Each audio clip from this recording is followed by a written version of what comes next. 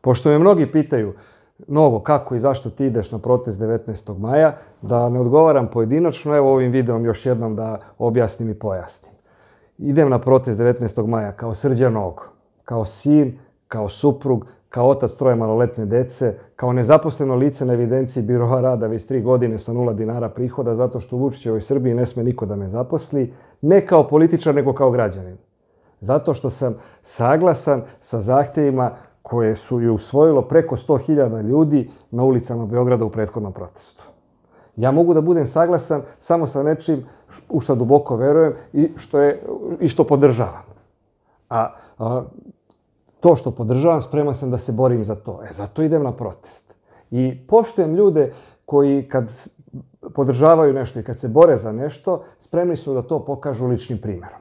I zato sam sastavio i potpisao izjavu u kojoj garantujem pod puno moralno materijalnom krivičnom odgovornošću i svojim životom.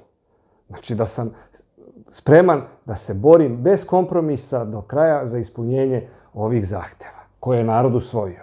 I siguran sam da je svih 100.000 ljudi koji su izašli zbog tih zahteva, znači svi građani koji učestvuju na tim protestima, da su takođe spremni da to garantuju. Jer nije niko izašao ni zbog jednog pojedinca, ni zbog ideologije, ni zbog koje političke opcije, nego upravo zbog tih zahteva.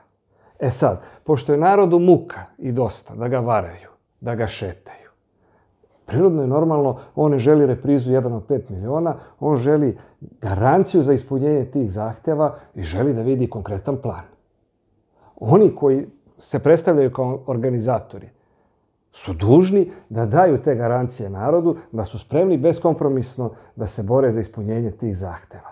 Upravo pogotovo što imaju i ranija negativna iskustva, a već su jednom i prekršili sobstveni rok na ovim protestima koji su dali. Rok od 8 dana za ispunjenje zahteva koji je Aleksandar Vučić probio, a koji oni uopšte u javnosti ni ne pominju. E, zbog tog nepoverenja i zbog uh, svega toga, jedan vid garancije mora se ponuditi građanima i mora se ponuditi narodu.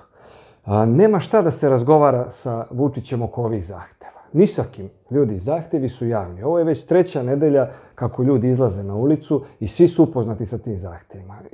Celokupna vlast. I oni samo trebaju da se izjasne. Evo, Aleksandar Vučić izjasni se. Prosto, da li prihvataš ili ne prihvataš. Jer oni to mogu da sprovedu. Bez ikakvih problema za 15 minuta zahtevi mogu da se sprovedu. Znači, svi sami bi podneli ostavke. I rukovodstvo RTS-a, i REM, i Bata Gašić, i Vulin, Peconi i Mitrović bi sami rekli, evo, ne treba nacionalna frekvencija, odričemo se nacionalne frekvencije. Kad bi Vučić im to tražio. Ukoliko bi oni to odbili, pa samo tužilaštvo pokrene postupak i sve ih pohapsi. Pa setite se afere koju je sam Aleksandar Vučić pustio, recimo, nedavno za RTS. Preko 100 miliona evra mahinacija i krađa unutar RTS-a. Znači da tužilaštvo i sudstvo rade svoj posao u Srbiji. Mi ne bismo ni morali da izlazimo na ulicu, oni bi svi odavno bili uhapšeni. Sve probleme, to odavno govorim, imamo upravo zato što tužilaštvo i sudstvo ne funkcioniše.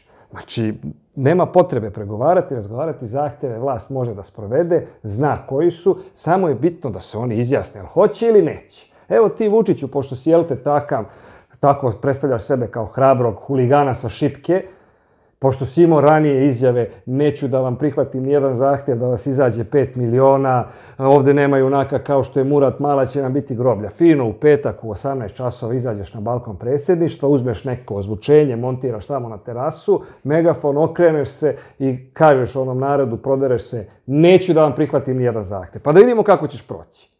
Ali nema šta da se pregovara, razgovara, nema šta da se ide da se priča sa rukovodstvom RTS-a, jer je narod jasno izneo koji su njegovi zahtevi. Nije on tu došao, ponavljam, ni zbog jednog političara, ni da ta je, bilo koji političar ima gostovanje na radio televiziji Srbije, već da se smeni rukovodstvo RTS. I to je ono što nas je okupilo. I snaga je u narodu. Sve što se dešava, to je zbog naroda, ne zbog bilo koje političke opcije. Jer taj narod je moć. E, oni koji su kao organizatori, jel te rekli da su organizatori i traže moć tu od naroda, tu moć moraju da iskoriste upravo za sprovođenje zahteva, a ne za bilo kakve dogovore, kompenzacije i trgovine. Znači, pošto se skupljamo u petak i pošto je najavljeno da nema razilaženja, mora da se odredi i rok do kog datuma vlast ima mogućnost da sprovede te zahtjeve. Ako ona to do tog roka ne ispuni, onda ćemo ih sprovesti sami. Ali to je i dužnost organizatora, ne moram ja sve unapred. Evo, daćemo i organizatorima jel te, priliku, neka izađu i neka iznesu konkretan plan. Jedno je bitno, nema razilaženja do ispunjenja zahteva.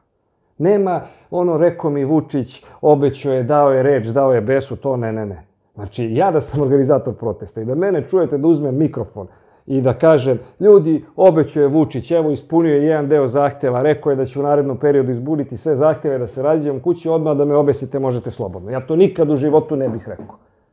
Znači, to od mene nećete čuti. Ako to od mene čujete, svako ima pravo da me ubije. Znači, prosto znamo zbog čega smo tu i hoćemo ispunjenje zahteva. I ostajemo tu dok se ne sprovedu zahtevi. Zašto je bitno da ostanemo dok se ne sprovedu zahtevi? Jer, znate što oni mogu onda da nam urade? Pa evo, kažu, usvojeni su zahtevi.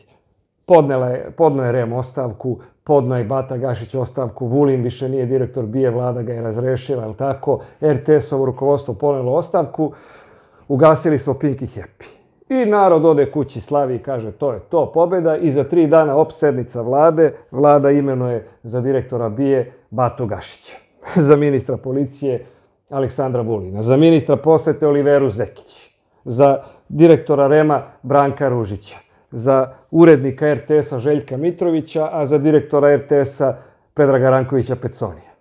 Mislim, na što to liči ljudi? Drugo, oni kad daju ostavke, pa oni su tehnički, tehnički obavljaju tu funkciju do izbora novog. Jel tako? Kad ih vlada smeni ili razreši. Znači, oni mogu kao u ostavci u stvari da ostanu do izbora novog. I idu izbori, ide izborna kampanja i oni veslaju, jel tako, kao direktor u ostavci, kao ministar u ostavci do izbora novog. Znači, to su prevare koje oni mogu da mu rade. Zato smo tu na ulici sve dok se naši zahtevi ne sprovedu.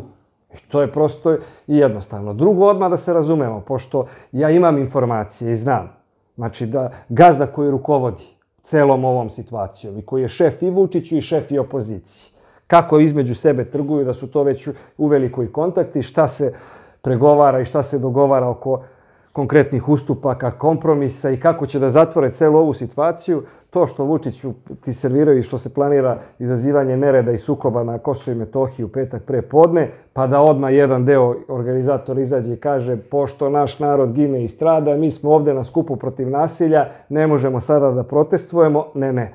Skupljamo se u petak u 18 časova, nema otkazivanja protesta. Ne možeš da uvedeš varedno stanje, jer ako uvede varedno stanje, neće ga nikada ukinuti. Ko da sprovodi to varedno stanje? Pa Vulin i Bata Gašić, pa nismo ludi. Ne može se uvesti varedno stanje zato što smo mi na ulici, zato što smo ispred Skupštine. Skupština mora da proglasi varedno stanje. Kako će da ga proglasi kad je narod tu okolo? Znači, pre tri godine sam bio među osam ljudi jedini koji su se protivili neustavnom uvođenju varednog stanja bez sednice Skupštine.